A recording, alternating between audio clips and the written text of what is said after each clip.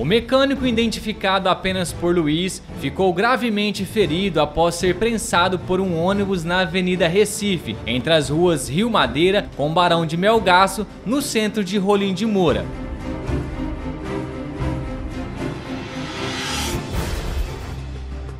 Segundo as informações, o mecânico consertava o ônibus estragado quando o veículo caiu sobre ele após supostamente o macaco afundar. Com isso, madeiras que escoravam o ônibus do outro lado também acabaram cedendo e o veículo caiu.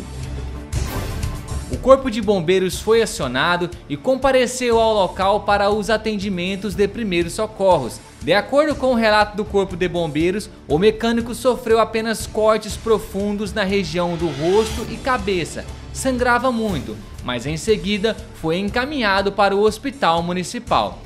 Os bombeiros relataram ainda que o veículo não atingiu totalmente o chão, por isso o mecânico não foi esmagado.